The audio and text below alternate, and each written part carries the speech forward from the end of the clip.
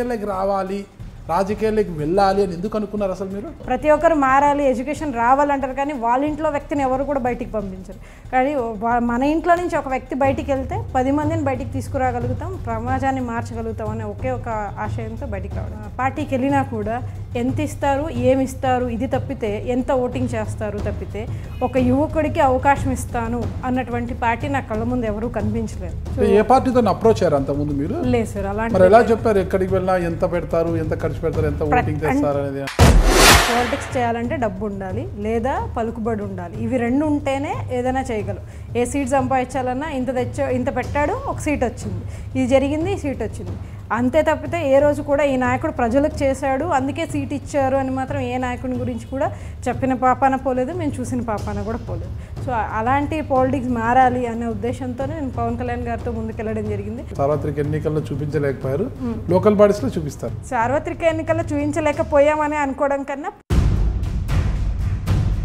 అలా క్రాస్ అయిన క్రాస్ అయ్యి జగన్ గారు లాభపడ్డారే తప్పితే సొంతంగా నూట యాభై ఒక్క సీట్లు వచ్చాయంటే చిన్న పసిపాప కూడా నమ్మదు. పొత్తులు ఉన్నాయి జగన్మోహన్ రెడ్డి గారు కోరుతున్నా? నరేంద్ర మోడీ గారు వస్తే కాళ్ళు పాదాభివందనం చేయడానికి కూడా సిద్ధపడుతున్నారంటే ఆయనకి ఆయన ఇక్కడ రాలే ఈయన అక్కడికి పోయారు కదా. అదే అక్కడికి వెళ్తే వెళ్ళి అంటే ఆంధ్రలోకి వచ్చారు కదా సమానుడైన నరేంద్ర మోడీ గారు పాదాల మీద జగన్మోహన్ రెడ్డి గారు పడితే తప్పంటారా? ఒకసారి వారించారు రెండోసారి కూడా వారించారు మూడోసారి కూడా పడడం అంటే అది ఎంతవరకు సమంజసం? అయితే మీకు మాత్రం టీడీపీతో సంబంధాలే లేవు. లేవు. ఒంటరి పోరు ఒంటరి పోరాటం. టీడీపీ జనసేన ప్రజాశాంతి పార్టీ అంటే కేపాల్ ముగ్గురు కలిసికట్టుగా ఒక నాటకం ఆడారనేది వైసీపీ వాళ్ళు అంటుంటారు. అది శుద్ధ అబద్ధం చాలా పెద్ద అబద్ధం అది. శుద్ధ నిజమేంటి? అధికార పార్టీని సమస్యల మీద ఏం ప్రశ్నించకూడదు. ప్రతిపక్ష పార్టీని విమర్శలు చేస్తే సమస్యలు తీరుతాయి. అంతే కదా మేడం? మీడియా కానీ పేపర్ కానీ ఏ రోజు కూడా కళ్యాణ్ గారి న్యూస్ లైవ్లో ఇచ్చిన పాపాన పార్టీ ఒక కండువా కప్పుకోని వాళ్ళని పార్టీలో సభ్యత్వం లేని వాళ్ళకి అట్లా పారాషూట్లు లాగా దిగిన వాళ్ళకి అంతా కూడా మీరేం చేశారు? మీకు టికెట్ ఇచ్చినారు? ఎమినూర్లో వర్క్ చేయండి. ఇక్కడికి వెళ్ళి పార్టీని గట్టిగా వర్క్ చేయండి అనే ఇచ్చారు. కేవలం మీకు రెండు వేల తొమ్మిది వందల ఓట్లు వచ్చాయంటే పరిస్థితి ఏంటి అసలుకి? అంటే బందే నవాజ్ కావచ్చు ఆల్ఫ్రెడ్ రాజు గారు నిలబడి ఉంటే ఆ ఓట్లు కూడా వచ్చేటి కావా? గ్రౌండ్ లెవెల్లో వర్క్ చేస్తేనే ఎవరికైనా ఓట్లు వస్తాయి సార్. గ్రౌండ్ లెవెల్లో వర్క్ చేయనప్పుడు ఏ రకంగా వర్క్ వస్తుంది? ఆయన నిజంగా గ్రౌండ్ లెవెల్లో మీరు వర్క్ చేసి ఉంటే మీరు గోండగుండ్ల మండలానికి మాత్రమే ఎందుకు పరిమితం అయిపోయారు ఎమ్మిగనూరు టౌన్ని ఎందుకు మీరు టార్గెట్ పెట్టుకొని తిరగలేదు? ముఖ్యంగా మీరు లోకల్ ఎమ్మెల్యే బివి జయనాగేశ్వరరెడ్డితో మీరు ములాఖత్ అయ్యి ఆయనకు మద్దతు పలుకుతూ కేవలము ఒక మండలానికి మాత్రమే పనికి పరిమితం అయిపోయారు మీరు. చివరి వరకు మీరు ఓడిపోతారన్న ఇదే రాలేదు. మీ కౌంటింగ్ వరకు కూడా అనుకోలేదు మీరు ఓడిపోతామని. మూడు వేల ఓట్లు అంటే ప్రతి ఓటుకి ఖచ్చితంగా ప్రతి ఓటుకి ఒక సమాధానం ఉంది నా దగ్గర. ఎందుకంటే ఏ ఒక్కరికి కూడా మద్య మద్యం కానీ డబ్బు కానీ ఎక్కడ కూడా విచ్చలవిడిగా ఎటువంటి ఇది లేకుండా ఆ మూడు వేల ఓట్లు సంపాదించుకోగలిగాం. అది ఇరవై రోజుల్లోనే జనసేన సంపాదించుకోగలిగింది అంటే నేను నిజంగానే గ్రేట్గా ఫీల్ అవుతున్నాను. పవన్ కళ్యాణ్ గారి యొక్క నిర్ణయం చాలా మంచిది ఆహ్వానించదగ్గది. కానీ ఇప్పుడున్న పరిస్థితులలో అది సాధ్యమవుతుందా? ఓటర్లు డబ్బులు తీసుకుంటేనే ఓట్లు వేస్తారా వేయరా? ఓట్లు డబ్బు ఇస్తేనే ఓటు వేస్తారనేది గ్యారంటీ లేదు. లేదు కదా అలాంటప్పుడు మీ అధినేత పవన్ కళ్యాణ్ గారు ఒక్క పవన్ కళ్యాణ్ని ఓడించడానికి నూట యాభై కోట్ల రూపాయలు ఖర్చు పెట్టారు అని ఆరోపించారు కదా. ప్రజలు డబ్బులు కమ్ముడుపోయారనే అనుకోవచ్చు లేకపోతే ట్యాంపరింగ్ జరిగింది అనొచ్చు రకరకాలు. ఆయన ఒక్కడ అసెంబ్లీకి వెళ్ళి ఉంటే బాగుండేదనే ఒకే ఆలోచన ఉండకూడదు అని అక్కడితో క్లోజ్ చేయాలన్న ఉద్దేశంతోనే ఇంత ఇంత కష్టపడుతున్నారంటే దానికి అర్థం ఆయనకు ఒక పవర్ ఉందనే కదా. స్థానిక సంస్థల ఎన్నికల్లో జనసేన ఎలా రాణిస్తుంది అన్న సందేహాలు అందరిలో ఉన్నాయి. ముందు జరిగింది ఒక ఎత్తు ఇప్పుడు జరిగేది మరో ఎత్తుగా మారుతుంది ఖచ్చితంగా. మరి మీ అధినేతే ఓడిపోయాడు కదా మరి అధినేత ఓడిపోయారని మీరు అనుకుంటున్నారు ఓడిపోలేదని మేము అనుకుంటున్నాము జనసేన బదులు వైసీపీలో చేరితే బాగుంటాండి నేను కూడా ఎమ్మెల్యే అయిపోతాంటే కదా. అయ్యో ఏంది తప్పు చేశాను అనిపించిందా? అలాంటిది ఏం లేదు సార్. డబ్బు పెట్టి అన్ని రకంగా పెట్టి గెలుపు కన్నా ఈ ఓటమే నాకు చాలా ఆనందంగా ఉంది. నెల రోజుల పాలన ఎలా ఉందంటారు జగన్మోహన్ రెడ్డి గారిది? నెల రోజుల పని నెల రోజులాగే ఉంటుంది. ముందుంది సార్ ముసళ్ళ పండగ ఎలా ఉంటుందో ఆయన ఇచ్చిన హామీలు నవరత్నాల హామీలు కావచ్చు ఎలా ఉన్నాయో ముందుంటే తెలుస్తుంది ఖచ్చితంగా.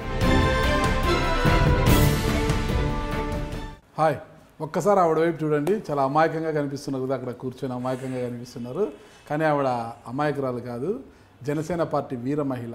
ఎన్నో సాహసాలు చేసి ఎన్నో ఉద్యమాలు ధర్నాలు చేస్తే జనసేన ఆమె కష్టాన్ని గ్రహించి ఒక వీర మహిళగా ప్రకటించి నాడు ఏడాది క్రితం జనసేన అధ్యక్షుడు పవన్ కళ్యాణ్ గారు ఆవిడ్ని జనసేన పార్టీ నుంచి రాష్ట్ర వీర మహిళ అధ్యక్షురాలుగా నియమించడం జరిగింది.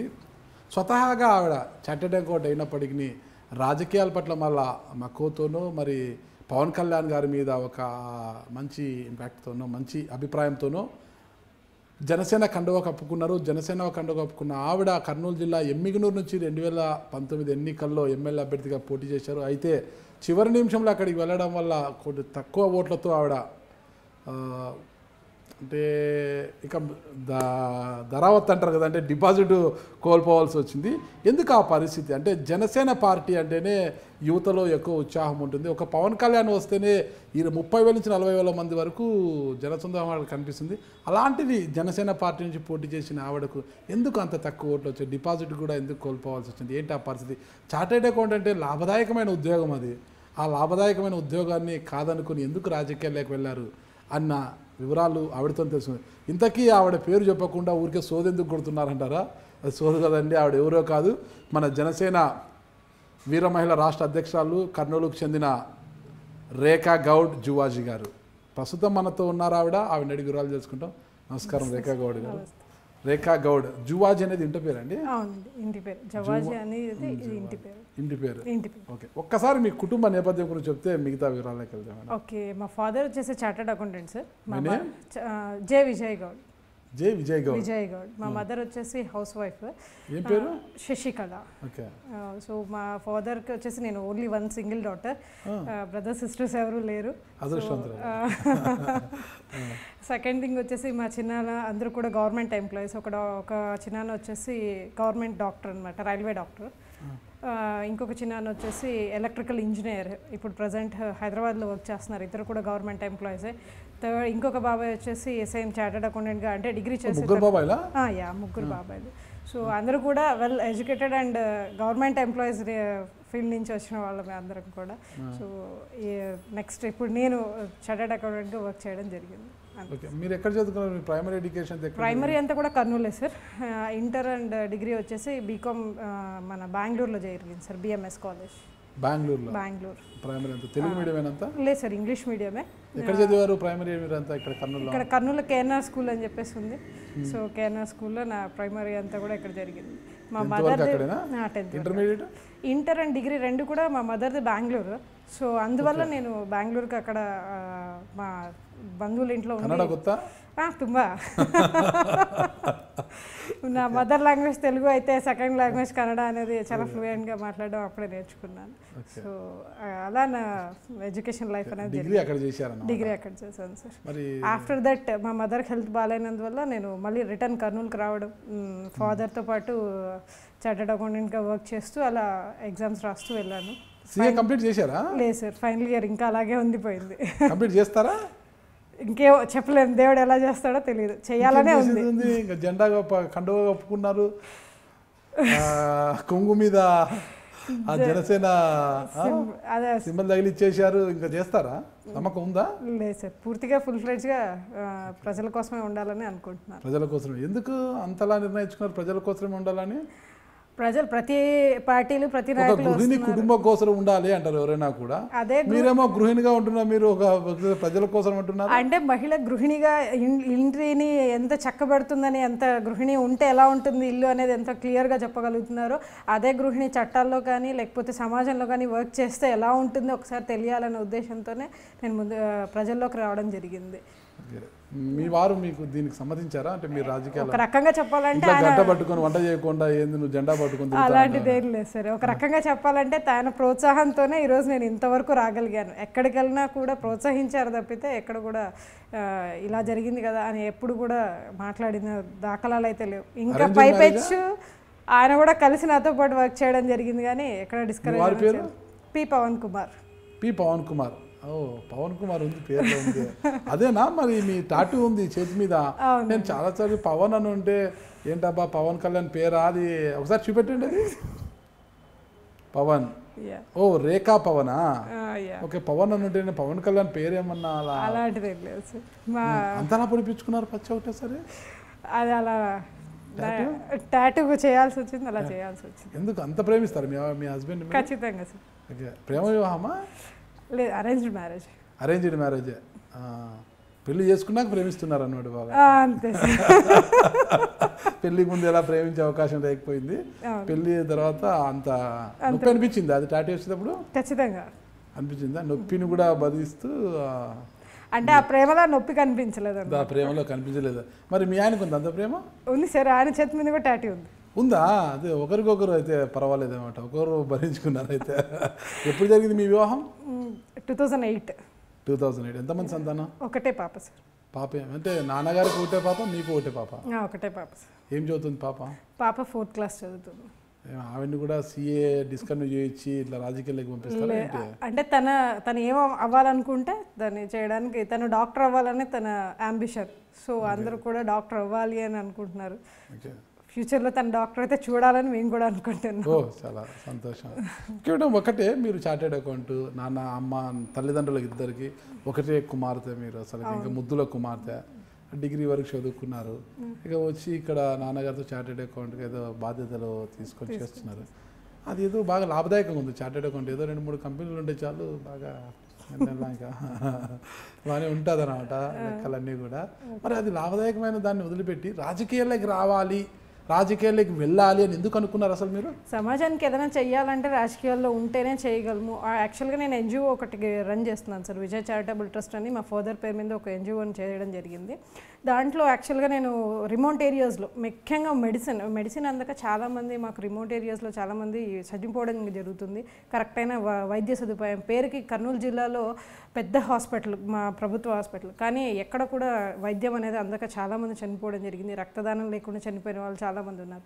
సో అలాంటి వాళ్ళకి మనం ఏదైనా చెయ్యాలి. పేదవాళ్ళకి ఏదైనా చెయ్యాలి అన్న ఉద్దేశంతోనే సొంతంగా నేను ఎటువంటి ఫండ్ అనేది యూస్ తీసుకోకుండా ఒక ఎన్జిఓని స్టార్ట్ చేయడం జరిగింది. డా డాడీ పేరు మీద.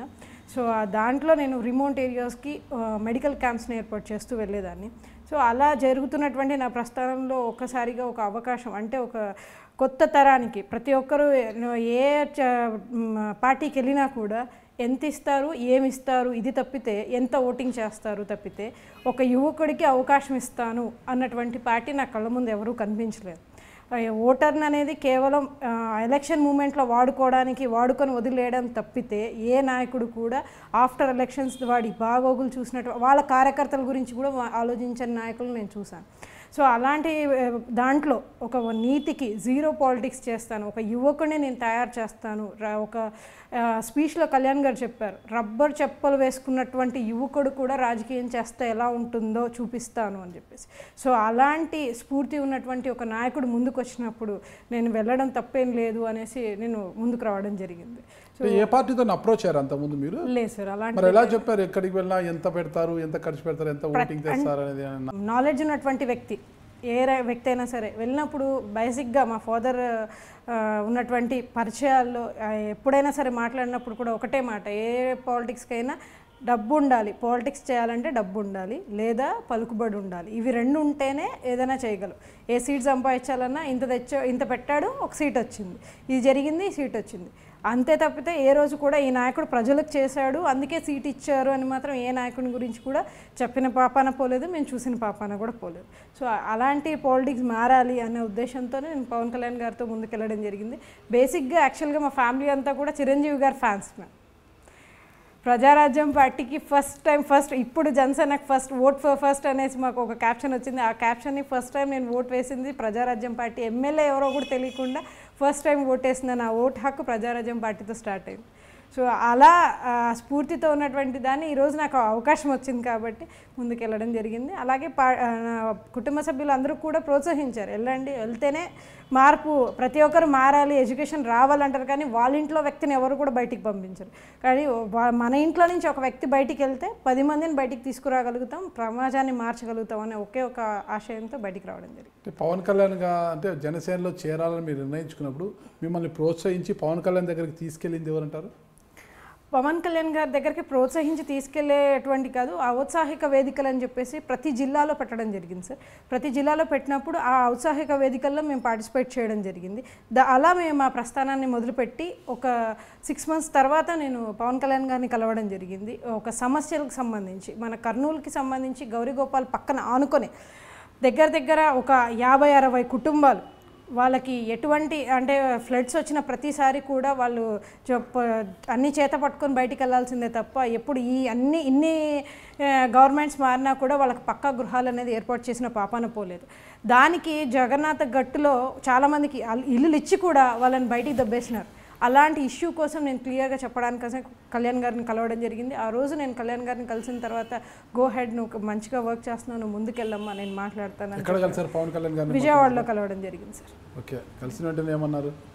సార్ చాలా హ్యాపీగా ఫీల్ అయ్యారు. మేము చేసిన వర్క్ని కూడా ఆ రోజు చూడడం జరిగింది. నేను చేసిన వర్క్స్ అన్నీ కూడా ఆయనకి ఆ రోజు చూపించడం జరిగింది. సార్ చాలా హ్యాపీగా ఫీల్ అయ్యి ముందుకెళ్ళండి ఇలాంటి వాళ్ళు ముందుకు వెళ్ళాలి అని చెప్పేసి ఆ రోజు క్లియర్గా చెప్పడం జరిగింది. గతంలో కలెక్టరేట్ దగ్గర అక్కడ కూడా పెద్ద ఎత్తున మీరు ఆందోళన చేశారు ఉద్యమాలు చేశారు అంటుంటారు ప్రజల కోసం.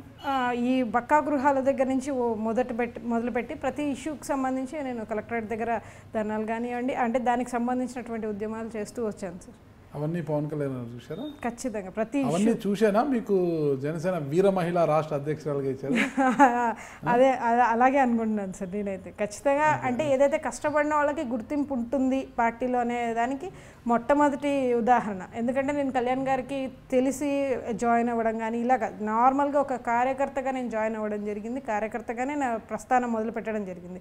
కానీ ఒక్కసారిగా నాకు వీరమహిళ విభాగాన్ని చైర్మన్ ఇస్తారని కానీ ఇలా ఉంటుందని కానీ నాకు ఆయన ఒక సర్ప్రైజ్ అనేది నాకు ఇవ్వడం జరిగింది. ఇప్పటికీ కొనసాగుతున్నారు దాంట్లో? అలాగే కొనసాగు వాళ్ళు ఏం చేస్తున్నారు? వీర మహిళగా ఏం చేస్తున్నారు? అంత వీరోచితమైన పనులు ఏం చేస్తున్నారు? వీర మహిళగా ఆ రోజు రెండు వందల ఇరవై మందిని అంటే not only me too two hundred and twenty మెంబర్స్ని ప్రతి పార్లమెంట్కి కూడా ప్రతి ఒక్కరికి కొత్త వాళ్ళకి ఆ రోజు అవకాశం ఇవ్వడం జరిగింది సార్. ఎలక్షన్స్లో మా వంతు మేము కృషి అయితే చేసాం ఆఫ్టర్ దట్ కార్యాచరణ కోసం మేము ఎదురు చూస్తున్నాం. త్వరలో స్థానిక ఎలక్షన్స్లో మా వీర మహిళల ప్రతాపం ఏంటో అప్పుడు చూపిస్తాం. చూపిస్తారా? ఖచ్చితంగా. ఇప్పుడు సార్వత్రిక ఎన్నికలు అంటే అసెంబ్లీ ఎన్నికల్లో చూపించలేకపోయారు అసెంబ్లీ పార్లమెంట్ సార్వత్రిక ఎన్నికల్లో చూపించలేకపోయారు. లోకల్ బాడీస్లో చూపిస్తారా? సార్వత్రిక ఎన్నికల్లో చూపించలేకపోయామని అనుకోవడం కన్నా ప్రజల్లోకి ఇంకా గట్టిగా వెళ్ళి ముందుకు తీసుకెళ్తే బాగుంటుంది అనేది మా వర్షం సార్ ఖచ్చితంగా. ఇంకా గట్టిగా. ప్రజలకి ఒక కన్ఫ్యూజన్ అనేది కాకుండా కన్ఫర్మ్గా మాకు కావాలి అనే ఒక ప్రజలు కన్ఫ్యూజన్లో ఉన్నారా? కన్ఫ్యూజన్లో ఉండి కాబట్టే కదా సార్ టీడీపీతో మాకు ఎటువంటి సంబంధం లేదు అన్నా కానీ అలా క్రాస్ అయిన క్రాస్ అయ్యి జగన్ గారు లాభపడ్డారే తప్పితే సొంతంగా నూట యాభై ఒక్క సీట్లు వచ్చాయంటే చిన్న పసిపాప కూడా నమ్మదు. అంతేనంటారా? సొంతంగా కాదు వచ్చింది పొత్తులు ఉన్నాయి జగన్మోహన్ రెడ్డి గారు కోరుతున్నా. అది దేవునికి తెలియాలి జగన్మోహన్ రెడ్డి గారికి తెలియాలి. ప్రతిరోజు బీజేపీ మన నరేంద్ర మోడీ గారు వస్తే కాళ్ళు పాదాభివందనం చేయడానికి కూడా సిద్ధపడుతున్నారంటే ఆయనకి కదా ఆయన ఇక్కడ రాలే ఈయన అక్కడికి పోయారు కదా. అదే అక్కడికి వెళ్తే వెళ్ళి అంటే ఆంధ్రలోకి వచ్చారు కదా సమానుడైన నరేంద్ర మోడీ గారు పాదాల మీద జగన్మోహన్ రెడ్డి గారు పడితే తప్పంటారా? ఒకసారి వారించారు రెండోసారి కూడా వారించారు మూడోసారి కూడా పడడం అంటే అది ఎంతవరకు సమంజసం? Okay okay. అంటే ఒకరు వారిస్తే అది ఆ, తప్పు అయిపోతుంది అంటారా వారించడం అంటే చాలు అనే కదా మీరు ఒక నిర్ణయం తీసుకొని మీ అభిప్రాయం ఒకటి ఉన్నప్పుడు ఒకరు తప్పు అంటే దాన్ని మీరు మీ మదిలో తప్పు అనుకున్నప్పుడు వారు కాదు అది ఒప్పు అంటే మీరు ఒప్పుకుంటారా? ఎవరి మదిలో ఏం వెదులుతుందో దాని ప్రకారంగానే ఆలోచిస్తారు తప్పితే జగన్మోహన్ రెడ్డి గారికి అది నిజం అనిపించింది. తండ్రి సమానుడు నరేంద్ర మోడీ గారు దేశ ప్రధాని కాళ్ళు మొక్కడంలో తప్పేం లేదు అంటే ఆయన ఒక సీఎం హోదాలో ఉన్నారు కాబట్టి ఆ సీఎం హోదాకు ఉందాతనంగా ఆయన ఏం చెయ్యాలో అది చేస్తే ప్రజలు కూడా చూడ్డానికి బాగుంటుంది కానీ మరి విచిత్ర అదేమో అంటారు సంబంధాన్ని మరీ విచిత్రంగా చూపించడం అనేది కరెక్ట్ కాదని ఆయన పిఎం కదా ఈయన సీఎం అయితే ఆయన పిఎం కదా. కరెక్టే సీఎం ఒక రాష్ట్ర సీఎంగా నువ్వు ఎంతవరకు హోదా వెళ్ళాలో అంతవరకు వెళ్ళాలి కదా. అంతేనంటారా? అయితే మీకు మాత్రం టీడీపీతో సంబంధాలే లేవు. లేవు. ఒంటరి పోరు ఒంటరి పోరాటం మరి ఎన్నికల ప్రచారంలో ఎక్కడ చూసు జగన్మోహన్ రెడ్డిని టార్గెట్ చేసి మాట్లాడారు. ఎక్కడ కూడా టీడీపీని టార్గెట్ చేసి మాట్లాడిన దాఖలాలు లేవు. లోపాయికారిగా టీడీపీతో ఏమో ఒప్పందాలు చేసుకొని ఎవరైనా సమస్యలు ఉంటే అధికార పార్టీని ప్రశ్నిస్తే సమస్యలు పరిష్కారం అవుతాయి. ప్రతిపక్షం మీద ఎక్కువ పెడితే బాణాలు ఎక్కువ పెడితే పాపం ఏం చేస్తారు ప్రతిపక్షము? ప్రతిపక్షం గురించే మాట్లాడింది మాత్రమే ఫోకస్ చేసినట్టున్నారు మీడియా కూడా. ఎన్నిసార్లు చంద్రబాబు నాయుడు? చంద్రబాబు నాయుడు గారికి కావచ్చు లోకేష్ గారి గురించి కావచ్చు ఎన్నోసార్లు కళ్యాణ్ గారు మాట్లాడడం జరిగింది. ఈవెన్ ఆవిర్భావ సభలో గుంటూరులో జరిగినటువంటి మంగళగిరిలో జరిగినటువంటి ఆవిర్భావ సభలో కూడా లోకేష్ గారి గురించి చంద్రబాబు నాయుడు గారి గురించి బీజేపీ గురించి ప్రతి ప్రతిసారి మాట్లాడడం జరిగింది. ఇలాంటి స్ప్రెడ్స్ అవుతున్నట్టునే ఎలక్షన్స్ మూమెంట్లో ఒక వీడియో కూడా క్లిప్పింగ్ కూడా వదలడం జరిగింది. నాకు టీడీపీకి ఎటువంటి సంబంధం లేదు మనం ఒంటరి పోరాటం చేస్తున్నాం అని క్లియర్గా ఇవ్వడం జరిగింది. కానీ అది ప్రజల్లోకి వీళ్ళు బలంగా తీసుకెళ్ళారని మాత్రం మేము అనుకుంటున్నాం. టీడీపీతో పొత్తుంది అనేది ఒక బలమైన ఇదిగా వాళ్ళు యుద్ధంగా చేశారు తప్పితే ఒక జనసేన ప్రజాశాంతి పార్టీ అంటే కేఏపాల్ ముగ్గురు కలిసికట్టుగా ఒక నాటకం ఆడారనేది వైసీపీ వాళ్ళు అంటుంటారు. బీఫామ్లు కూడా ఒకరికొకరు పంచుకున్నారు. ఒకరు బీఫామ్లు ఒకరు వెళ్ళిపోయి అంటున్నారు కదా. అది శుద్ధ అబద్ధం చాలా పెద్ద అబద్ధం అది. శుద్ధ నిజమేంటి? ఎవరికి వాళ్ళు ఒంటరి పోరాటం చేశారు. ఎవరికి వాళ్ళు ఒంటరి పోరాటం చేశారు. ఈవెన్ ప్రతిపక్ష పార్టీలో ఉన్న జగన్మోహన్ రెడ్డిని తూర్పారు పట్టడము అధికార పార్టీని పక్కన పెట్టడము ఎలాంటి పొత్తు లేకుండా ఎవరికి వారు ఎన్నికల్లో ఇచ్చేసారు ఎవరికి వారు ఎన్నికల్లో రావడం జరిగింది. అది ఎవరికి వారు? అంటే అధికార పార్టీని సమస్యల మీద ఏం ప్రశ్నించకూడదు. ప్రతిపక్ష పార్టీని ఆ, ప్రతిప విమర్శలు చేస్తే సమస్యలు తీరుతాయి. అంతే కదా మేడం? అలాంటిది ఏం లేదు సార్. మీ మీడియా కానీ పేపర్ కానీ ఏ రోజు కూడా కళ్యాణ్ గారి న్యూస్ లైవ్లో ఇచ్చిన పాపాన మీ మీడియా ఉంది కదా TV ninety nine? Ninety nine TV ఇప్పుడు వచ్చింది. మాకు వచ్చినంత వరకు ఇస్తూనే తోట చంద్రశేఖర్ గారు తీసుకుని కరెక్టే సార్. నైన్టీ నైన్ టీవీ వచ్చింది ఇస్తూనే ఉన్నారు. కానీ ప్రతిపక్షంని ఒకటే టార్గెట్ చేశారనేది మాత్రం అబద్ధం. కళ్యాణ్ గారు చంద్రబాబు నాయుడు గారిని అన్నారు లోకేష్ గారిని అన్నారు ఈవెన్ మోడీ గారిని అన్నారు కేసీఆర్ గారిని కూడా అడిగారు. ప్రతి ఒక్కరిని అన్నారు. ఎక్కువగా నెపం అయిపోయింది ఎవరి మీద అంటారు? అందరినీ అన్నారు అంటున్నాను. నేను ఓన్లీ జగన్ గో- గారిని ఒకరే అన్నారని కాదు అందరినీ అన్నారు. ఓకే. ఎక్కువగా జగన్మోహన్ రెడ్డి గారిని టార్గెట్ చేసి మాట్లాడారు కాబట్టి ప్రజలు కూడా అదే స్థాయిలో స్పందించారు. అధికార పార్టీ పైన చేయాల్సిన విమర్శలు అరే ప్రతిపక్ష పార్టీ మీద చేస్తాం అంటే వీళ్ళంతా కూడా లోపాయకారి ఒప్పందాలు ఉన్నాయి కాబట్టి అంటే అభ్యర్థుల ఎంపిక విషయంలో కూడా చంద్రబాబు నాయుడు గారే పంపించారు చాలా మందిని అనేది కూడా వస్తున్న విమర్శలు? అలాంటిదైతే ఏం లేదు సార్. అభ్యర్థుల ఎంపిక పూర్తిగా కళ్యాణ్ గారి చేతుల మీదుగా జరిగింది తప్ప ఎవరి మీ అభిప్రాయాలు కానీ ఏది కానీ లేవు. కళ్యాణ్ గారు ఏదైతే సెలెక్ట్ చేసుకున్నారో జరిగింది పారదర్శకంగానే జరిగింది. ఎక్కడా లేని ఆటో పర్సన్ కూడా ఆ రోజు అప్లికేషన్ వేయడం జరిగింది. మా క్యాండిడేట్స్ని చూస్తే ఫార్మర్స్ అభ్యర్థులు లేరు అనడం కదా సార్. ఆయన చెప్పిన నినాదాన్ని చూపించాడు కదా. కొత్త వాళ్ళకి అవకాశం ఇస్తానన్నారు. కొత్త వాళ్ళకే అవకాశం ఇచ్చారు కదా. ఎక్కువ శాతం వాళ్ళకే ఇచ్చారు అవకాశం పార్టీ ఒక కండువా కప్పుకోని వాళ్ళని పార్టీలో సభ్యత్వం లేని వాళ్ళకి అట్లా పారాషూట్లు లాగా దిగిన వాళ్ళకి అంతా కూడా పారాషూట్లో దిగిన వాళ్ళకి వాళ్ళకి ఒక పది శాతమే మీరు మీరు చెప్పే దాంట్లో కానీ ఎక్కువ శాతం కొత్త వారికి ఆయన ప్రోత్సహించారు కొత్త వారికే అవకాశాలు ఇచ్చారు. ఓకే. మీ ఇంట్లో బిందె నీళ్ళు ఉన్నాయి మేడం? బిందె నీళ్ళు కానీ పాలు కానీ ఉన్నాయి మేడం? ఉన్నాయి సార్. ఒక చుక్క విషయం ఏంటి మేడం? దేనికి సార్? అంటే ఆ పాలులో విషయం కలుస్తుందో లేదో కనుక్కొని చూద్దాం. అనుకుంటున్నారు. అంటే ఒక చుక్క విషయం వేస్తాం బిందె నీళ్ళలో చుక్క విషయమే కదా నా పాలు తాగేస్తారు మేడం? అలాంటిది ఏం లేదు సార్. లేదు కదా? లేదు. మరి ఒక పది శాతం అలా పారాషూట్లకు ఇచ్చామంటారే ఫస్ట్ జనసేన పార్టీ పెట్టినప్పుడు ఉన్న నినాదం ఏంటి? పారాషూట్లకు స్థానాలు లేవు. సామాన్యుడికి మాత్రం ఎవరైతే పార్టీ కోసం కష్టపడతారో పార్టీ నిబంధనల ప్రకారం పనిచేసే వారికే స్థానాలు ఉన్నారు. అలాంటప్పుడు వాళ్ళకే ఇచ్చారు కదా సార్. ఎవరికి ఇవ్వలేదు మీరు బనగానపల్లిలో ఎందుకు ఇవ్వలేదు? అంతవరకు కష్టపడితే? బనగానపల్లిలో మీకు ఒకటి శ్రీశైలంలో ఎవరు లేరా? నంద్యాలలో ఎవరు లేరా? నంద్యాలలో ఎవరు లేరంటే ఎస్పీ రెడ్డి గారు జాయిన్ అయ్యారు కాబట్టి ఆయనకు టికెట్ ఇవ్వడం జరిగింది. ఎవరెవరైతే ఎక్కడ కష్టపడ్డారో వాళ్ళందరికీ ఇవ్వడం జరిగింది. రాయలసీమ జోన్లో కూడా తొలి నుంచి కష్టపడ్డ వారిని కాకుండా అప్పుడప్పుడు వచ్చిన పారాషూట్ ఒక్క గుంతకల్ నియోజకవర్గం పక్కనే తీసుకుంటే తొలి నుంచి పూల రమణ అనే అతను కాపు సామాజికానికి చెందిన అతను టికెట్ కోసం ప్రయత్నించాడు. అయితే ఏదైతే టీడీపీలో కోసం టీడీపీలో టికెట్ కోసం ఏదైతే ఆశించి టికెట్ రాకపోయేదానికి అప్పటికప్పుడు జెట్ ప్లైన్ లాగా విజయవాడకు వెళ్ళి మరుసటి రోజు పొద్దునికి బీఫామ్ తెచ్చుకున్నారు. ఎవరు? కొట్రికి మసూదన్ గుప్తా గారు. తెలుసు ఏమైంది పరిస్థితి అనేది అక్కడ. ఇక్కడ అంతే శ్రీశైలంలో పనిచేశారు బనగానపల్లిలో పనిచేశారు నంద్యాల పనిచేశారు. అప్పటికప్పుడు వాళ్ళు వెళ్ళిపోయాలకే అక్కడ ఉండే వాళ్ళని పక్కన పెట్టి వాళ్ళకి టికెట్ ఇచ్చేసారు భీమవరంలో. అప్పటి వరకు పనిచేసిన పక్కన పెట్టి నాగబాబు గారికి ఇది పవన్ కళ్యాణ్ గారి సో పవన్ కళ్యాణ్ గారి పొడి నరసాపురం. మీకు ఎంపీ పార్లమెంట్ సంబంధించి మీకు. దానికి నాగబాబు గారికి తెచ్చి ఇచ్చేశారు భీమవరంలో నాగబాబు గారు పవన్ కళ్యాణ్ గారిని ఇవ్వమన్నారు అక్కడ ఉన్న ఎంపీ స్థానానికి నాగబాబు గారికి ఇచ్చేసారు అప్పటివరకు ఉన్నవారు పక్కన పెట్టి. ఇలా చెప్పుకుంటూ పోతే అంటే ఒకటి ఇవ్వలేదు అనడానికి ఒక చిన్న పక్క మీరు గుంతకల్ అంటారు మా డిస్టిక్లోనే పాణ్యం ఉంది. పాణ్యంలో సురేష్ గారు అని చెప్పేసి ఇరవై ఐదు సంవత్సరాల నుంచి ఫ్యాన్స్ అసోసియేషన్గా పనిచేసినటువంటి వ్యక్తికి గుర్తించి ఆయన టికెట్ అడగకపోయినా కూడా రండి మీరు ఖచ్చితంగా ఫ్యాన్స్గా వర్క్ చేశారని చెప్పి టికెట్ ఇవ్వడం జరిగింది. సో అలాంటి వాళ్ళు ప్రతి దగ్గర గుర్తించి చేస్తూనే ఉన్నారు వెళ్తూనే ఉన్నారు. ఈరోజు అసెంబ్లీ పరిస్థితి ఏంటి? ఖచ్చితంగా సార్. అంటే ఆ సిచ్యువేషన్ ఎక్కడ జరిగింది అనేది పార్టీ దాన్ని ఖచ్చితంగా వెరిఫై చేసి మిగిలిన దగ్గర ఎక్కడో దగ్గర అవకాశం అయితే ఇచ్చి ఉంటుంది కదా. ప్రతి దగ్గర అవకాశం అయితే ఇచ్చి ఉంటుంది ఇంకొకటి ముందస్తుగా ప్రతి ఒక్కరు ఇక్కడే ఉంటుంది ఇక్కడే మీకు టికెట్స్ కన్ఫర్మ్ అయినాయని ఎవరికి ఎక్కడ కూడా క్లారిటీ లేదు కదా. పని చేసుకుంటూ ఆశించిన వారికి ఇప్పుడు మీరు ఎక్కడ పని చేశారు? నేను కర్నూలులో వర్క్ చేశాను. కర్నూలులో వర్క్ చేశారు. ఆల్ఫ్రెడ్ రాజు ఎందుకు పార్టీ మారారు? ఎమ్మిగనూరులో? ఆల్ఫ్రెడ్ రాజు వచ్చేసి అంటే నాకు టికెట్ రాలేదు అన్న ఉద్దేశంతో ఆయన వెళ్ళిపోయారు. అంతే కదా? అంటే ఎమ్మిగనూరుని నమ్ముకొని తొలి నుంచి కష్టపడి పనిచేసిన ఆల్ఫ్రెడ్ రాజును కాదని మిమ్మల్ని ఎమ్మిగనూరుకి ఎందుకు పంపించారు? ఒక్క నిమిషం సార్. ఆల్ఫ్రెడ్ రాజు టికెట్ ఆశించడం ఒకటే కాదు. టికెట్కి సంబంధించినటువంటి గ్రౌండ్ లెవెల్ వర్క్ కూడా చేయగలగాలి. అంటే టికెట్ ఇస్తే ఉంటాం టికెట్ లేకపోతే వెళ్ళిపోతాం అంటే ప్రతి టికెట్ మీరు చేసిన గ్రౌండ్ లెవెల్ వర్క్ ఏంటి? కర్నూలులో పనిచేసిన మీరు ఎమ్మిగనూరులో ఎలాంటి గ్రౌండ్ లెవెల్ వర్క్ చేశారు? బందే నవాజ్ కావచ్చు ఆల్ఫ్రెడ్ రాజు కావచ్చు వీళ్ళు చే లోకల్గా ఉంటూ వాళ్ళు చేయని పని కర్నూలు నుంచి రేఖా జువాజీ గారు ఏం చేశారు? కర్నూలు నుంచి నేను అక్కడికి వెళ్ళి చేశానని చెప్పట్లేదు కానీ పార్టీలో టికెట్ వస్తేనే ఉంటాం టికెట్ రాకపోతే వెళ్ళిపోతాం అనేది ప్రతి పార్టీలో జరుగుతున్నటువంటి లీడర్లుగా చెప్పుకునేటువంటి వ్యక్తులు చేస్తున్నటువంటి నైతిక విలువలు లేనటువంటి వ్యక్తులు చేస్తున్నటువంటి పని. అలాంటి పని వీళ్ళకి ఎటువంటి నైతిక విలువలు లేవంటారు. స్వార్థపరులాగా మాకు టికెట్ వస్తే ఉంటాం లేదంటే లేదన్నారు. మేము టికెట్ ఇచ్చినా ఉంటాం ఇవ్వకపోయినా ఉంటాం. పార్టీని నమ్ముకొని ఉంటాం. పార్టీ ఓడినా ఉంటాం గెలిచినా ఉంటాం. కళ్యాణ్ గారు చెప్పేంత వరకు మేము ఇలాగే ఉంటాం. ఎక్కడైనా ఉంటాం?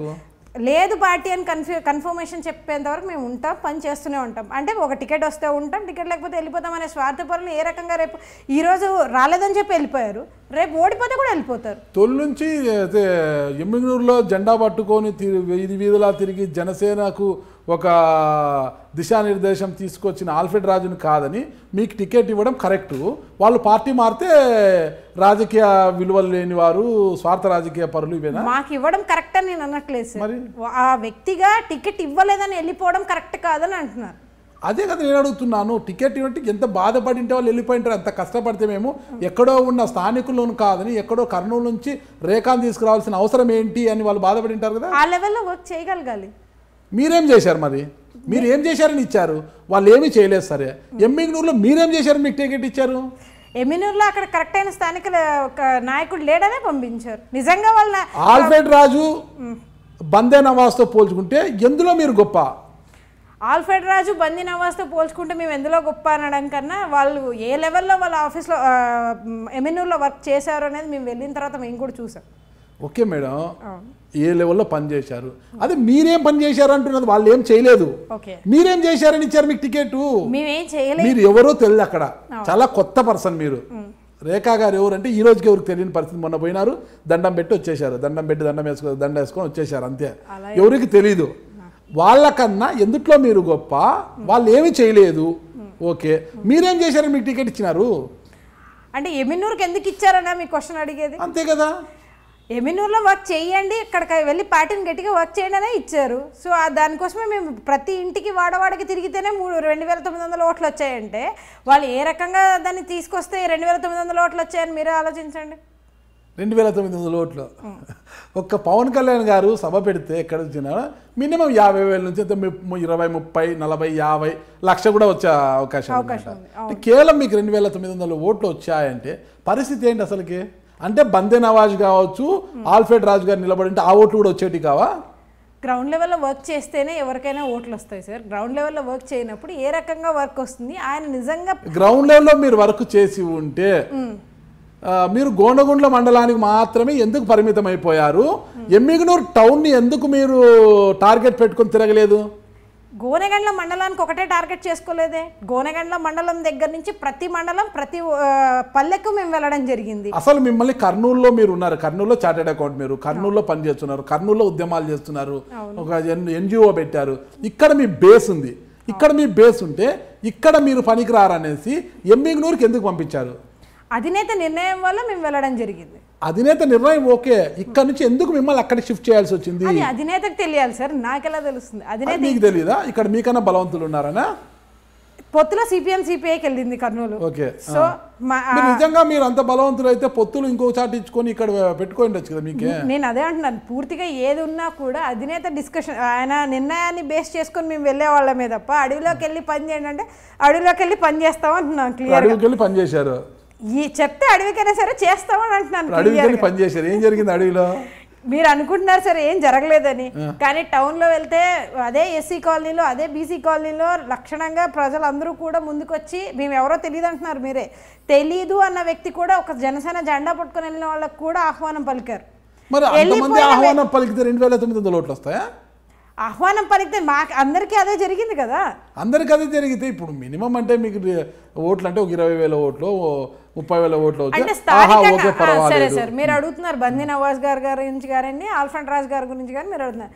స్థానికంగా ఉంటూ స్థానికంగా సమస్యలు తెలుసుకుంటూ డబ్బు ఖర్చు పెట్టి మద్యం తెచ్చి అన్నీ ఇచ్చి మూడు నాలుగు కోట్లు ఖర్చు పెట్టినటువంటి బీజేపీ నాయకులకు కూడా ఎన్ని ఎన్ని ఓట్లు వచ్చాయి సార్?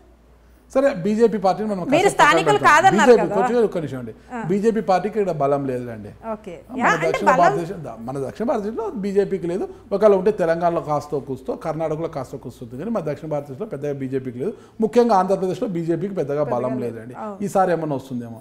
అలాంటిది ఎమ్మిగునూరులో బీజేపీకి బలం ఉంటుందంటే ఓ నెంబరు? అదందరికీ తెలిసినదే బీజేపీ అలా కూడా అక్కడ గెలిచే అవకాశం జనసేన జనసేనను. చూస్తే జనసేనను చూస్తే ఎక్కడ జనసేన పార్టీ అన్నా కూడా అంతెందుకండి? మీరు వీర మహిళా రాష్ట్ర అధ్యక్షులుగా మీరు వెళ్తుంటే మీ పక్కన అవతల బౌన్సర్స్ అంతా హంగామా ఆ కథ అంతా కూడా చాలా నడిచింది.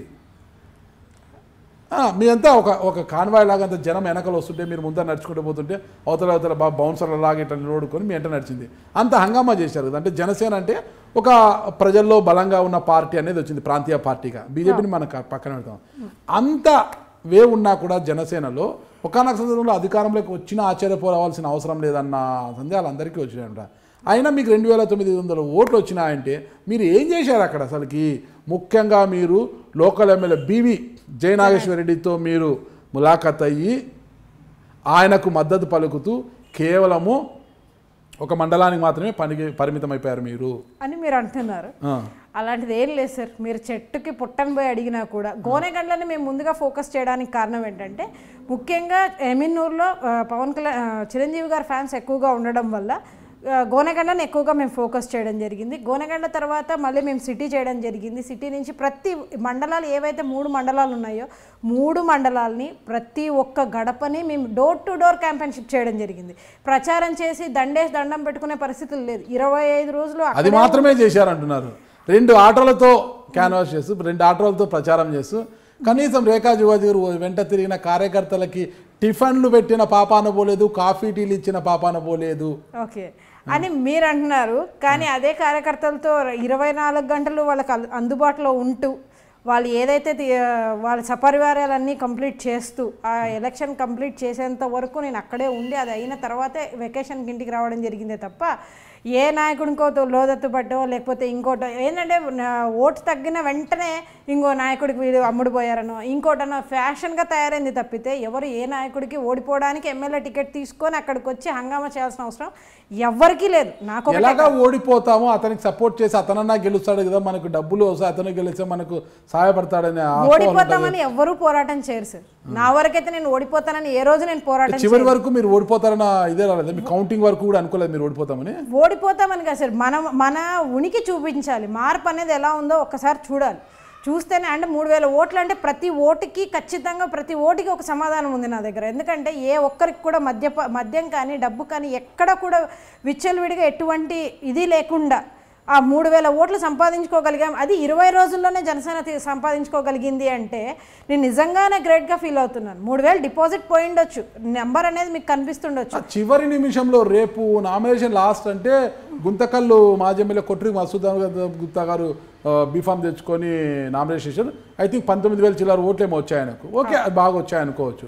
మీకు మరీ రెండు వేల తొమ్మిది వందల ఓట్లు వస్తే మీరు ఏం సాధించినట్లు ఎమ్మిగ్నూరులో సాధించడానికే కదా సార్ అవకాశం ఇచ్చారు. ఇంకా నెక్స్ట్ ఈ రెండు వేల తొమ్మిది వందల ఓట్లకి నేను బాధ్యురాలనే కదా. రెండు వేల తొమ్మిది వందల ఓట్లకి నేను బాధ్యతగా బాధ్యురాలిని. భావిస్తున్నారా? బాధ్యతగా భావిస్తున్నాను. బాధ్యతగా నేను అక్కడ ఉండి పని చేయడానికి కూడా సిద్ధపడుతున్నాను కదా.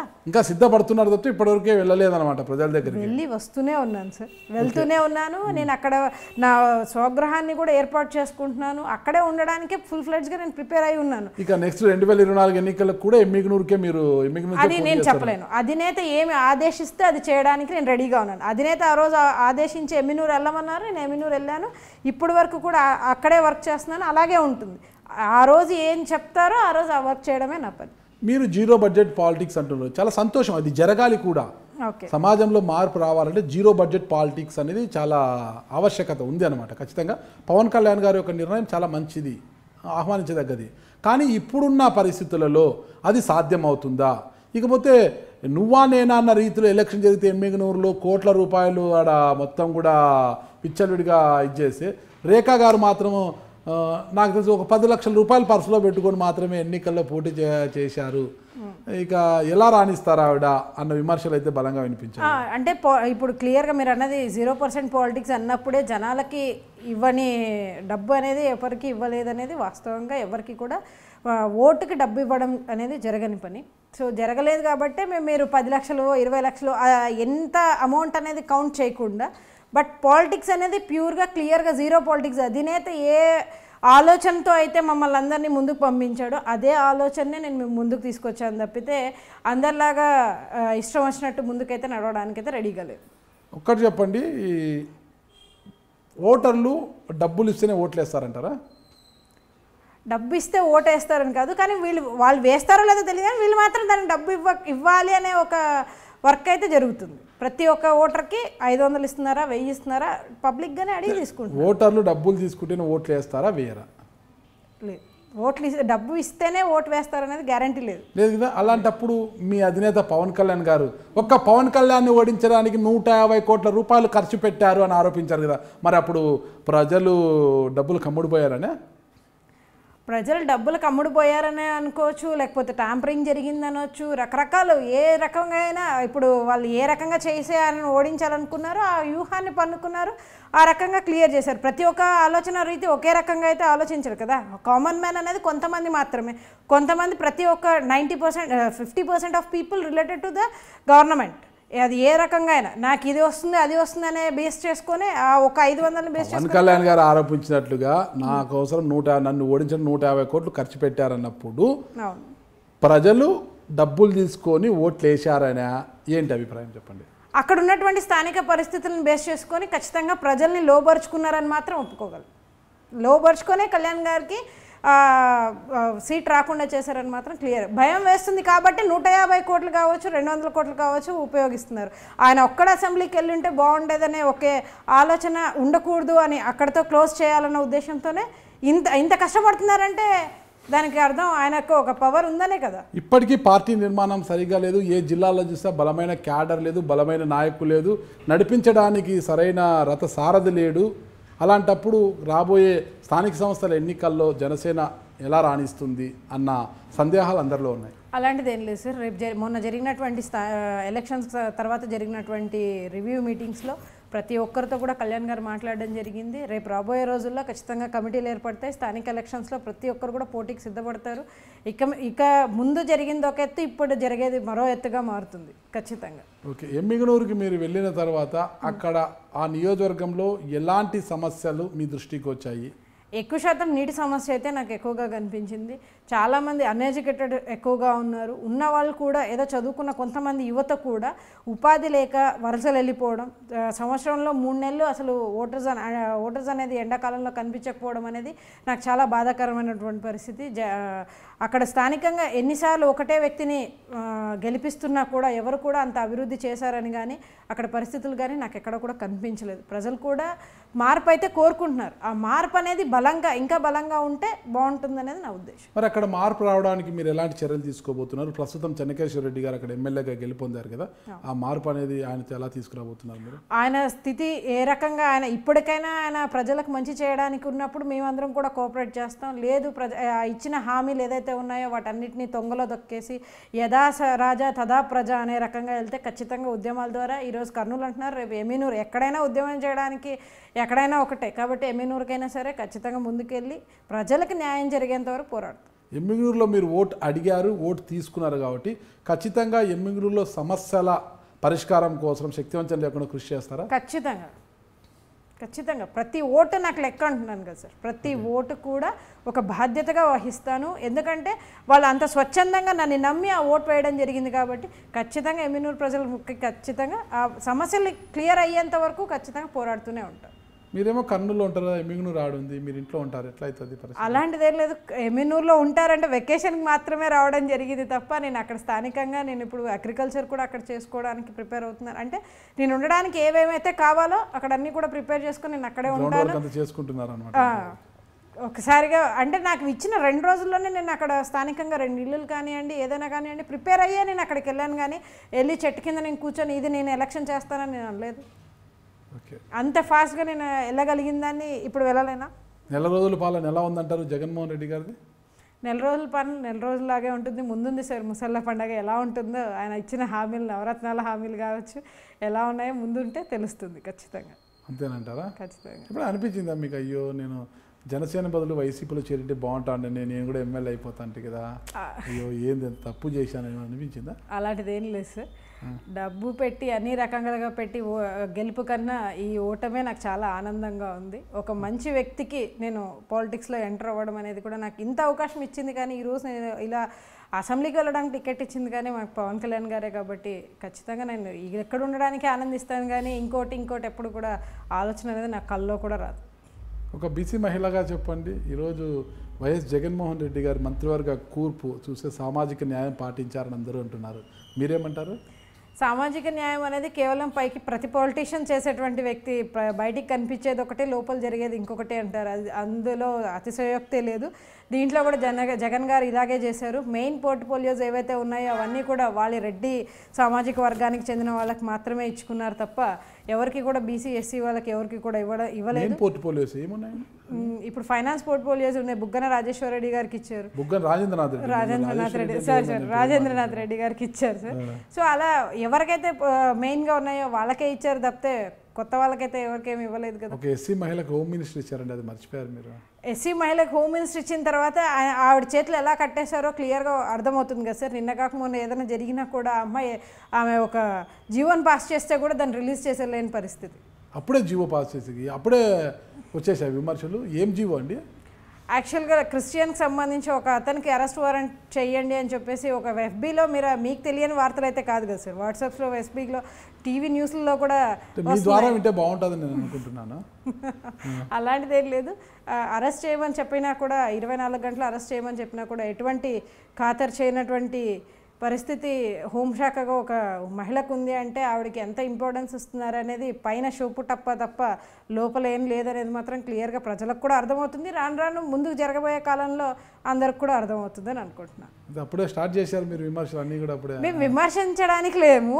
వాళ్ళు చేసే తప్పుల్ని మేము చెప్తున్నాం. ఇక్కడ ఇలా జరిగింది ఇలా జరిగింది. మీరు మంచి పనులు చేస్తే ఇప్పుడు విమర్శించిన వాళ్ళమే వెరీ గుడ్ నైస్ అని మేము కూడా మాట్లాడతాం.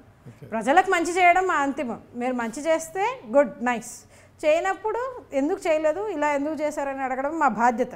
రేఖా జువజ్ గారు ఎంత మాట్లాడినా జనసేన పార్టీకి ఉన్న వేవ్తో పోల్చుకుంటే జనసేన సైనికులు జన సైనికులు ఆశించిన మేరకు ఆమె ఎమ్మిగనూరులో రాణించలేకపోయారు. అందరినీ కలుపుకుపోవడంలో విఫలమయ్యారు. ఓకే. అలాంటిది ఏం లేదు సార్. మీరు అలా కలుపుకుపోలేదు అనేది అదే సేమ్ ఇలా ఎవరో గిట్టని వాళ్ళు చెప్పే సమస్య విమర్శే తప్ప ప్రతి ఒక్కరు అక్కడ ఉన్నంత వరకు ప్రతి ఒక్కరు కూడా ప్రతి ఒక్క సైనికుడు కలుస్తున్నారు. ఈవెన్ వాళ్ళ పెళ్ళిళ్ళు జరిగినా ఏం జరిగినా ప్రతి ఒక్కరు మాకు ఇన్ఫర్మేషన్ ఉంటుంది. మేము వెళ్తున్నాం వస్తున్నాం. ఒక ఇంటి కుటుంబ సభ్యులు నిజంగా చెప్పాలంటే జన సైనికులు అంటే నా ఇంటి కుటుంబ సభ్యుల్లాగే మెలిగి నన్ను పంపించారు. మా వాళ్ళు ఎంతో హ్యాపీగా ఫీల్ అయ్యారు. మా ఎమ్మెన్నూరులో ఎప్పుడు కూడా ఒక మహిళ పోటీ చేయలేదు. ఎవ్వరు కూడా ఎక్కడ కూడా చేయలేదు. మీరు మొట్టమొదటిసారిగా మీరు వచ్చారు. అది కళ్యాణ్ గారు మిమ్మల్ని పంపించారని మమ్మల్ని ఆహ్వానపరిచారే కానీ ఎవరు కూడా ఇటువంటి అంటే మీరు ఇలా చేశారు అలా చేశారు అనేది ఎటువంటిది ఎప్పుడు జరగలేదు. మా జన సైనికులు ఎప్పుడు కూడా నన్ను ఆదరించారు నన్ను ముందుండి నడిపించారు. నేను నన్ను ముందుండి నడిపించింది ముఖ్యంగా జన సైనికులు మాత్రమే మీరు పోయిన తర్వాత అప్పటి వరకు పనిచేసిన ఆల్ఫ్రెడ్ రాజు గారు కావచ్చు బందే నవాజ్ని ఎందుకు కలుపుకొని పోవడంలో విఫలమయ్యారు? వాళ్ళ పార్టీ ఆల్ఫెడ్ రాజు వైసీపీలోకి వెళ్ళిపోయారు బందే నవాజ్ టీవీలోకి టీడీపీలోకి వెళ్ళారు వాళ్ళు ఎందుకు నిలవరించలేకపోయారు? మీతో కలిసి పని చేసుకుంటారు ఎందుకు చేసుకోలేకపోయారు? బందీ నవాజ్ గారు కానివ్వండి ఆల్ఫెడ్ రాజ్ గారు కానీ ఒకే దిక్సూచి ఏంటంటే మాకు టికెట్ రావాలి టికెట్ రావాలి టికెట్ రావాలనే ఆలోచన తప్పితే వేరే ఆలోచన అయితే ఏది వాళ్ళలో కనిపించలేదు. కానీ మేము వెళ్ళి మాట్లాడడం కూడా జరిగింది. బట్ వాళ్ళ వర్షన్ ఏదైతే ఉందో టికెట్ రాలేదు అనే ఒక అసంతృప్తిని బేస్ చేసుకొని వాళ్ళు వెళ్ళిపోయారు తప్పితే వాళ్ళకి వేరే ఏ అంటే మేము పార్టీకి సేవ చేయాలి మేము పార్టీలో ఒక భాగమై ఉండాలి. ఇప్పుడు ఈరోజు మొదట్లోనే ఎవరు రాజులైతే అవ్వరు. సో అలాంటి ధోరణితో ఏ రోజు కూడా ఆలోచించలేకపోయారు. వాళ్ళు పార్టీకి ఇమడలేకపోయారు. మే మేము పార్టీకి వాళ్ళు మాకు ఇమడడం కాదు. వాళ్ళే పార్టీని ఇమడలేకపోయారు. వాళ్ళు అందువల్ల వాళ్ళు క్విట్ అయిపోయారు. వాళ్ళు వెళ్ళిపోవడం రావటం పోవటం అనేది సర్వసాధారణంగా ఎలా జరుగుతుందో అలా వాళ్ళు కూడా వెళ్ళిపోవడం జరిగింది. ఓకే వాళ్ళు వెళ్తా వెళ్ళేటప్పుడు కూడా మీరు కనీసం నిర్వహించే ప్రయత్నం కూడా చేయలేదా? మేము నవాజ్ ఇంటికి వెళ్ళి మాట్లాడడం జరిగింది ఆల్ఫ్రెడ్ రాజ్ గారికి మాట్లాడడం జరిగింది. ఏ రోజైతే మాకు చెప్పిన వెంటనే పర్సనల్గా వాళ్ళ ఇంటికి వెళ్ళి మాకు ఇది జరిగింది మాకు సపోర్ట్ చేయండి ఖచ్చితంగా ఇలా ఉంటుంది అనేసి వాళ్ళతో మాట్లాడడం జరిగింది. మా వంతుగా మేము అందరం అందరితో కలుపుకుపోము అనేటువంటి వర్షన్ అయితే ఎప్పుడూ లేదు. జన సైనికులకు లేదు. ఎందుకంటే జన సైనికులకు ఎటువంటి ఏం లేదు. మాకు ఒక ఎమ్మెల్యే ఎవరిని పంపించినా కళ్యాణ్ గారిని మేము వంతుగా పని చెయ్యాలి అనే ఏంతో ఉన్నారు కాబట్టి జన సైనికులు ఎక్కడికి వెళ్ళలేదు. మాకు టికెట్ వస్తేనే మేము పార్టీకి పనిచేస్తామని స్వార్థంగా ఆలోచించే నాయకులు మాత్రమే పక్కకు జరిగారు. నాయకులు అనుకునే వాళ్ళు మాత్రమే పక్కకు జరిగారు. జన సైనికులు అలాగే ఉన్నారు. అలాగే మాకు ముందుండి నడిపించారు. ఇక కష్టపడి పనిచేసే వారికి అంటే అన్ని పార్టీల మాదిరిగానే జనసేనలో కూడా కష్టపడి పనిచేసే వారికి న్యాయం జరగలేదు. అని కళ్యాణ్ దిలీప్ శుంకర్ లాంటి వారికి కళ్యాణ్ దిలీప్ శుంకర్ అనే వ్యక్తి మీకు తెలుసు. ఆయన పార్టీ కోసం ఎంత శ్రమించాడు కనీసం ఆయనకు న్యాయం జరగలేదు. కనీసము రైతు సమస్యలను ఏదైతే రైతుల కోసము పాటుపడుతున్నామో రైతు సంక్షేమం మా ధ్యేయం అని చెప్తున్న జన సైనికులు అంటే జనసేనుడైన పవన్ కళ్యాణ్ గారు రైతు సమస్యలను వివరించడానికి అనగాని రామ్ ప్రసాద్ అనే ఒక వ్యక్తి దాదాపు రెండు మూడేళ్ళుగా తిరుగుతున్నా కూడా రెండేళ్ళుగా తిరుగుతున్నా కూడా కనీసం ఆయనకు అపాయింట్మెంట్ కూడా ఇవ్వలేదు పవన్ కళ్యాణ్ గారు. వీరాజ్ ప్రజా సమస్యలు పరిష్కరించేదన్న విమర్శలు వస్తున్నాయి. అలాంటిదైతే ఏం లేదు. ఆయన ఏదైతే సమస్యని కళ్యాణ్ గారికి తీసుకెళ్ళాలని అనుకుంటున్నారో అది ఖచ్చితంగా కళ్యాణ్ గారి వరకు వెళ్ళి ఉంటుంది. కానీ ఈయన ఏ రకంగా అప్రోచ్ అయ్యారు ఎలా వెళ్ళారు అనే దాన్ని బేస్ అయ్యి వెళ్తుందే తప్ప ఖచ్చితంగా ప్రజా సమస్యల కోసం ఫ- ఏ కష్టం వచ్చి వెళ్ళినా ఏ అపాయింట్మెంట్ లేకుండా కళ్యాణ్ గారు డైరెక్ట్గా కలవడం జరుగుతుంది.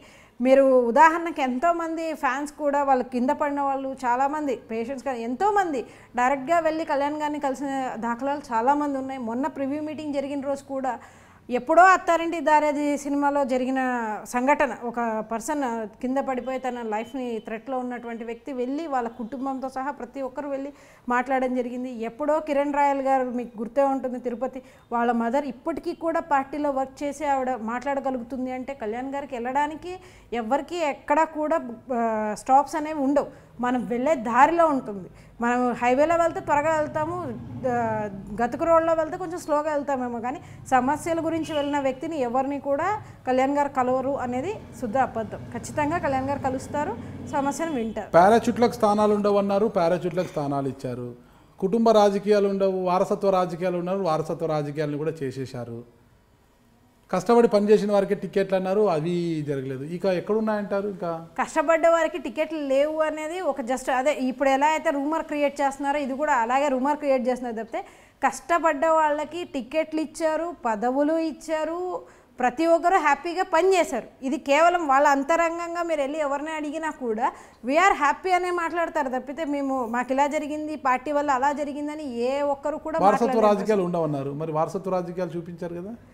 వారసత్వ రాజకీయాలు అనేది మేము అనుకుంటే వచ్చినవి కాదు కదా సార్ అవి.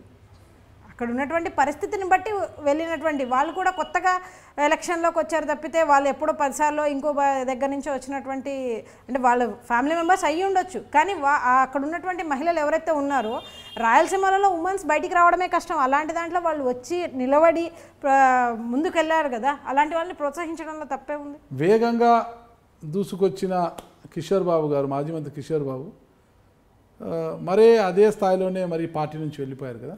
అది ఆయన విదితానికే వదిలేస్తున్నాను సార్ ఆయన ఎంత వేగ అంటే ఏదో ఆశించే నేను- అదే అంటున్నాను. ఏ నాయ రావెల కిషోర్ బాబు గారు కావచ్చు మీరు అడుగుతున్న ఆల్ఫ్రెడ్ రాజ్ గారు కావచ్చు ఎవరైనా కావచ్చు వాళ్ళు ఏదో స్వార్థంతో వచ్చిన వాళ్ళు మాత్రమే అంతే వేగంగా బంతి ఎంత వేగంగా వచ్చి ఎంత వేగంగా వెళ్ళిపోతుందని అనుకుంటున్నారో అంతే వేగంగా వెళ్ళిపోతారు. ఎటువంటి స్వార్థం అవసరం లేదు. ప్రజల కోసం రావాలి. ప్రజలకు ఆ నాయకుడు చేస్తాడు. మనకి అసైన్ చేస్తాడు అనుకునేటువంటి నాయకులు కానీ కార్యకర్తలు కానీ సైనికులు కానీ అలాగే ఉంటారు. ఎక్కడికి వెళ్ళరు. చెక్కు చెదరు అంతే. టికెట్లు వచ్చినా రాకపోయినా. టికెట్ కోసం పని చేస్తే అంటే టికెట్ కోసం పని చేస్తున్నారంటే స్వార్థం కోసం పని చేస్తున్నట్టే. కళ్యాణ్ గారు స్వార్థం కోసం పని చేయమని చెప్పలేదు కదా ప్రజల కోసం పని చేయమన్నారు. ప్రజల కోసం పని చేయమన్నప్పుడు మీరు టికెట్ కోసం ఆలోచిస్తున్నారంటే మీకంటూ ఒక ఎయిమ్ పెట్టుకొని పాలిటిక్స్లో వచ్చారు. దూరపు కొండలు నునుపు అంటారు కదా.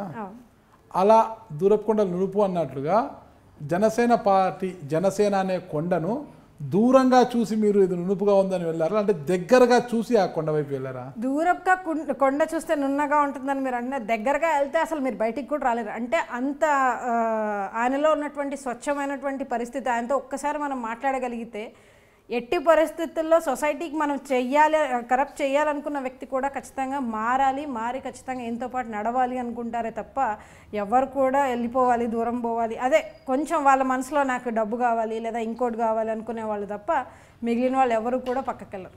అంటే పార్టీ రథసారథి అంటే పార్టీ యొక్క బండిని నడిపాల్సిన రథసారథికే ఆ, పాపం కష్టాలు స్టార్ట్ అయ్యాయి.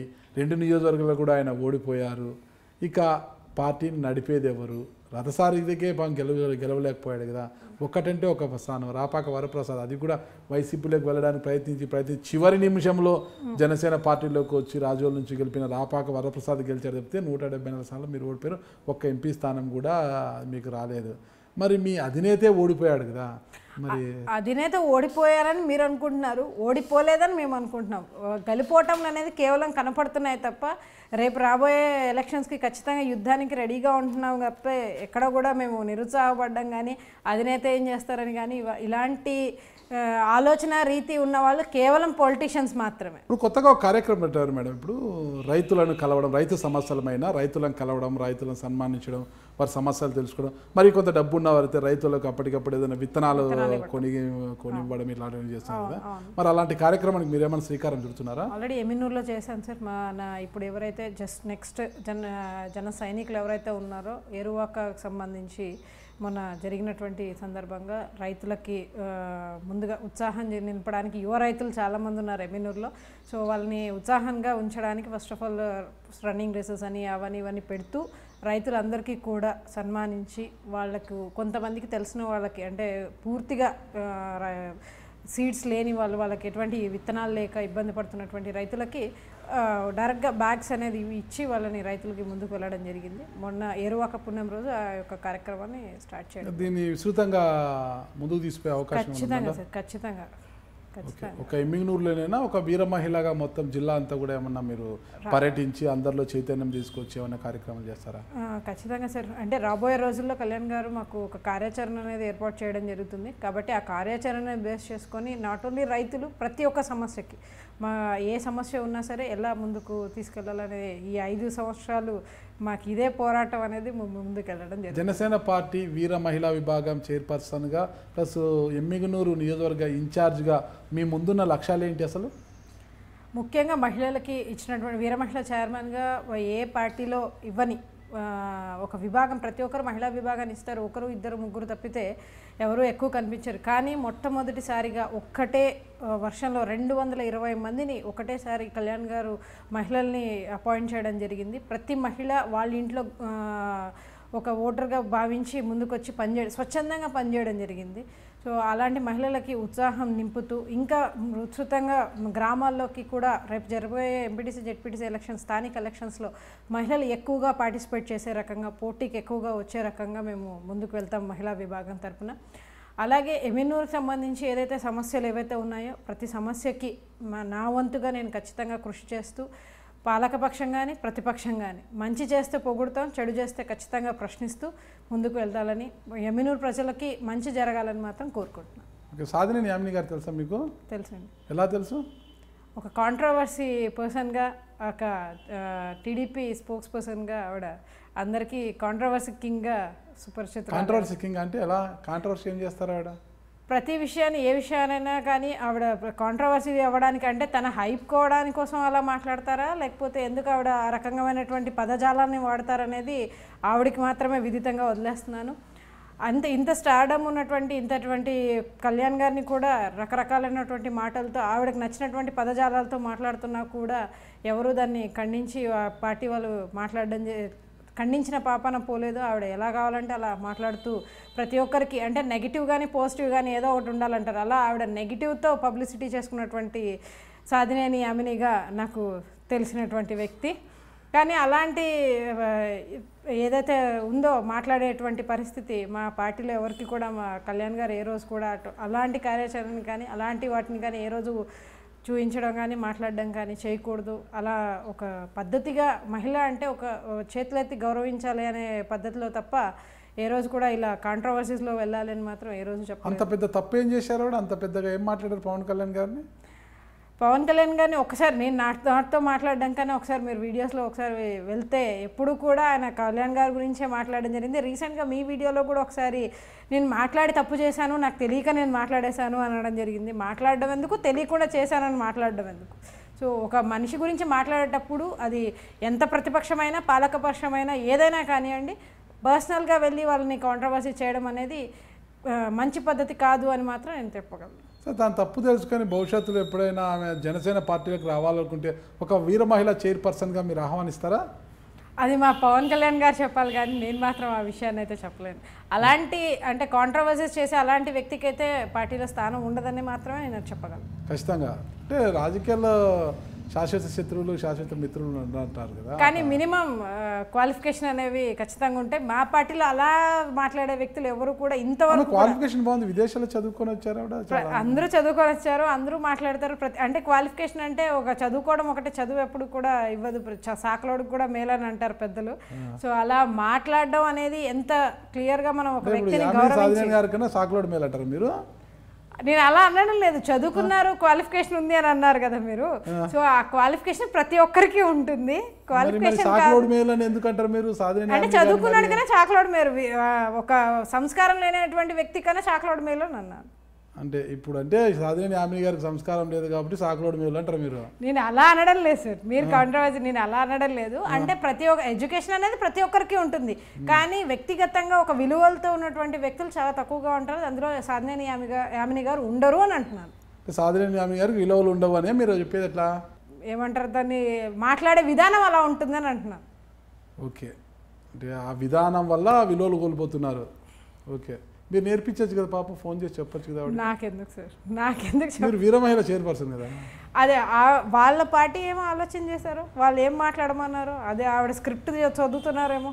ఎవరికి తెలియదు ఇప్పుడు ప్రధానంగా ఇప్పుడు మీకు సమీక్షలు జరుగుతున్నది ఆ సమీక్షలో పవన్ కళ్యాణ్ గారు ఎలాంటి సూచనలు చేస్తున్నారు? మీరు ఎలా ముందుకు పోవాలని ఆయన ఆదేశిస్తున్నారు? కళ్యాణ్ గారు ముఖ్యంగా నియోజకవర్గాల్లో ఉన్నటువంటి అందరూ కూడా యువకులు కొత్త వాళ్ళే ఉన్నారు. కొత్తగా ఎలక్షన్స్కి వెళ్ళడం జరిగింది. ప్రతి ప్రివ్యూ మీటింగ్లో ఎంత ఖర్చు పెట్టారు? ఇవి కాదు. ప్రజలకు ఎంత దగ్గరగా ఉంటున్నారు? ప్రజల సమస్యలు ఎంతవరకు తెలుసుకుంటున్నారు? రేపు రాబోయే ఎన్నికలకు కానీ ఏదానికైనా సమరం రెడీగా ఉన్నారా? అది ఓటమి కావచ్చు గెలుపు కావచ్చు. ప్రతి ఏ నాయకుడు మేము గెలవాలి గెలుస్తూనే ఉండాలి అని మాట్లాడతారు. కానీ మా కళ్యాణ్ గారిలో మాకు స్పెసిఫిక్గా ఇష్టమయ్యేది ఏంటంటే ఓటమైనా గెలుపైనా మనం యుద్ధం చేయడానికి రెడీగా ఉండాలి. అని మాత్రమే ప్రతి ఒక్క ఎమ్మెల్యేకి ఆయన చెప్పడం జరిగింది. దానికి అందరూ కూడా సిద్ధపడే ఉన్నాము. అందరూ కూడా నియోజకవర్గాల్లో వాళ్ళ వాళ్ళ నియోజకవర్గాల్లో స్థానికటువంటి స్థానిక ఎలక్షన్స్కి రేపు మొన్న జరిగినటువంటి ఎలక్షన్స్లో ఎవరైతే జన సైనికులు ఎక్కువగా కష్టపడి ఇంట్రెస్ట్గా ఉన్నటువంటి వ్యక్తులు ఎవరైతే ఉన్నారో వాళ్ళందరూ కూడా రేపు పోటీకి నిలబడడానికి సిద్ధపడుతున్నారు. ఓకే కనీసం ప్రతిపక్ష పాత్రను కూడా పోషించలేని పరిస్థితిలో ఉన్నారు మీరు ఒక స్థానంతో ఉన్నారు కాబట్టి.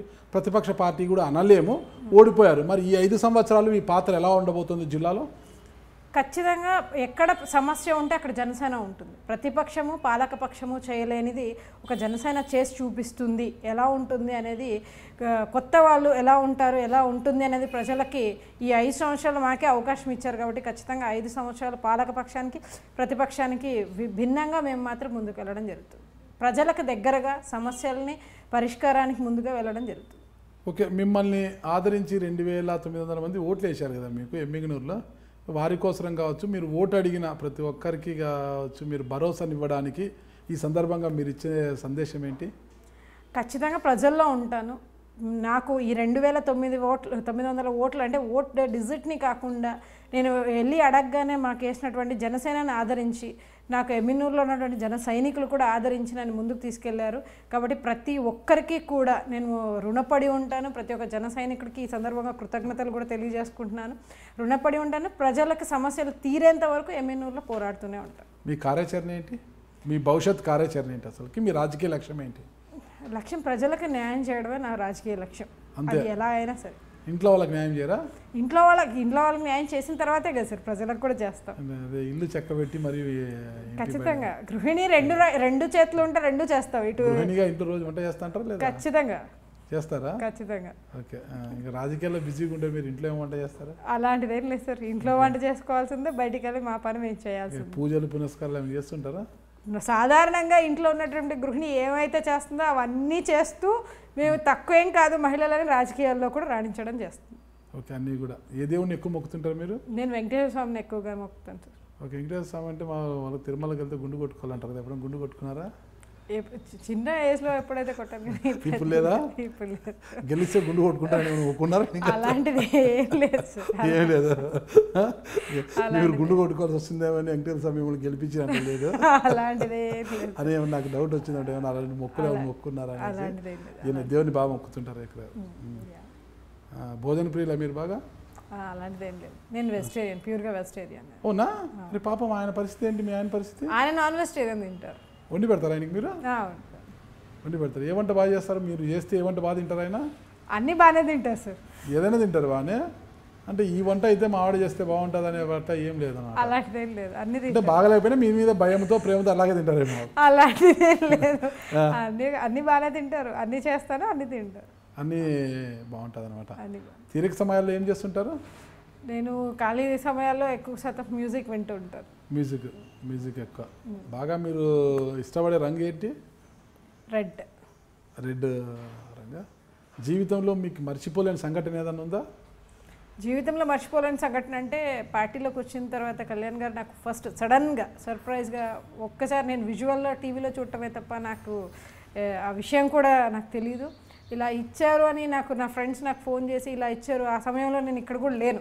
నేను బయట ఉన్నాను బయట ఉన్నప్పుడు ఇలా వచ్చింది ఇలా ఉంది నేను ఫోన్ చేయగానే నాకు అసలు అర్థం కాలేదు. నేను ఎలా స్టార్ట్ అయ్యాను ఎలా వచ్చాను నేను ఈరోజు ఎలా ఉన్నాను అంటే ఒక మలుపు ఎలా ఉంటుంది అనేది ఒక్కసారిగా నాకు అలా చూపించడం జరిగింది. అది నా జీవితంలో ఎప్పుడు అంటే తొలి మజిలీ నేను చూశాను. సో కాబట్టి అది నా జీవితానికి అది అలా స్థిరంగా నిలబడిపోయి ఉంటుంది. జీవితంలో రేఖా జీవాజీ గారు మర్చిపోలేని బాధాకరమైన సంఘటన ఏది ఉంది ఆ, మా ఫాదర్ ఎక్స్పైర్ అవ్వటం నాకు చాలా బాధాకరమైనటువంటి విషయం అనమాట అవునా? పాప ఎప్పుడు చనిపోయారు?